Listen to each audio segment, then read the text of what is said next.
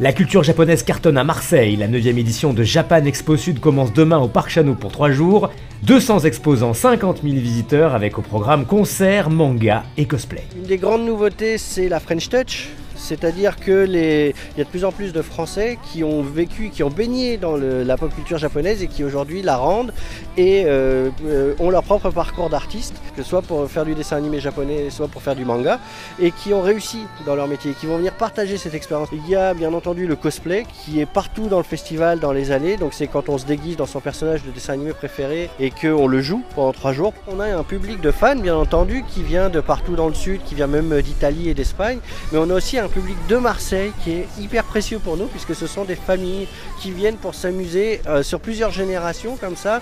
Euh, et c'est quelque chose qui est exclusif en fait à Japan Expo Sud à Marseille d'avoir ces gens qui viennent comme ça avec les enfants, les adultes pour s'amuser sur toute une journée et chacun va faire ses animations, ils se retrouvent et c'est un moment de partage qui est hyper étonnant pour nous et qui est assez passionnant.